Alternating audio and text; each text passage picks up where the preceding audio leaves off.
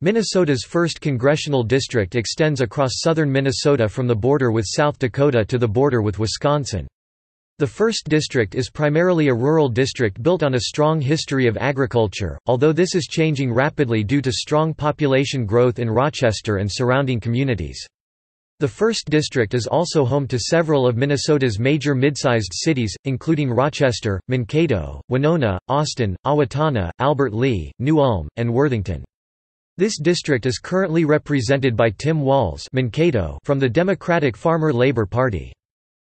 From early statehood until the latest redistricting after the 2000 census, the 1st District covered only southeast Minnesota.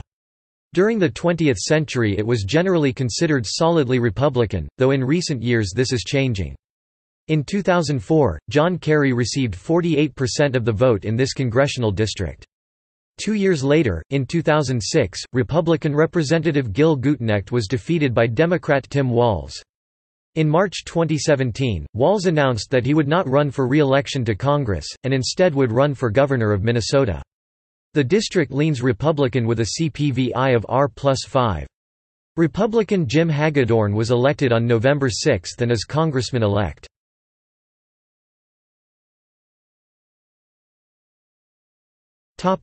List of members representing the district.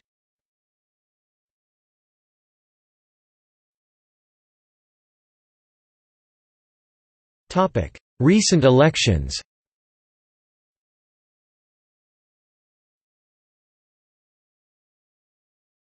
Topic. 2002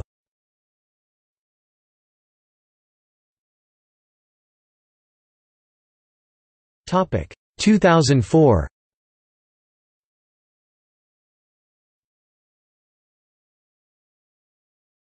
Topic. 2006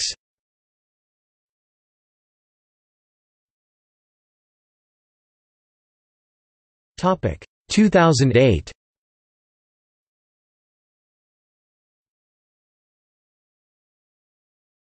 Topic. 2010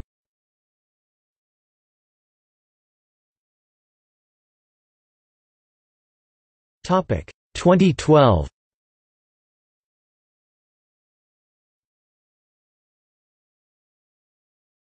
Topic. 2014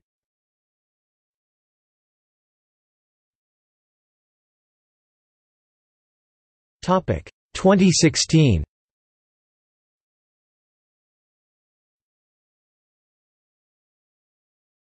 Topic. 2018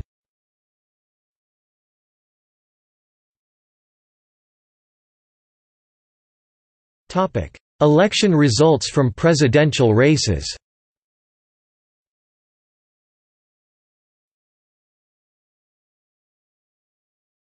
Topic. Historical district boundaries